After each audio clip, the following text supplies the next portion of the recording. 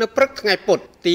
28ខែសីហាឆ្នាំ2024ឯកឧត្តមនាយឧត្តមស្នេហ៍សថេតអគ្គស្នងការនគរបាលជាតិបានទទួលជួបសម្ដែងការគួសម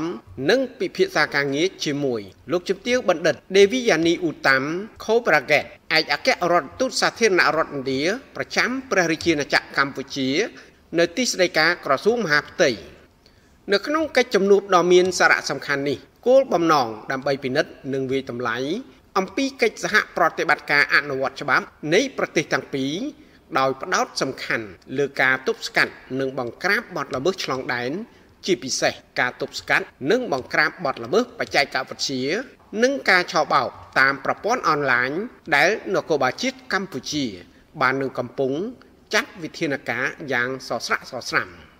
ជាមួយគ្នានេះលោកជំទាវបណ្ឌិត Devi Yani Uttam Khobraget ឯកអគ្គរដ្ឋទូតឥណ្ឌាប្រចាំព្រះរាជាណាចក្រកម្ពុជា បានសម្ដែងនៅការកោតសរសើរនិងថ្លែងអំណរគុណចំពោះអគ្គស្នងការដ្ឋាននគរបាលជាតិដែលបានផ្ដល់កិច្ចសហការ បានយ៉ាងល្អជាមួយស្ថានទូតឥណ្ឌាប្រចាំព្រះរាជាណាចក្រកម្ពុជា